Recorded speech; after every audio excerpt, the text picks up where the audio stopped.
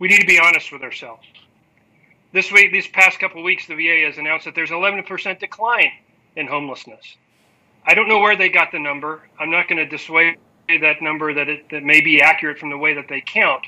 But just like we saw with the suicide numbers that we shared last time, right. we're severely undercounting suicides. I believe we're probably severely undercounting not just homelessness, but but the the factors, the, the the things that push our veterans into homelessness as well, to try to prevent them from ever having that issue in the first place. Same same concept with suicide.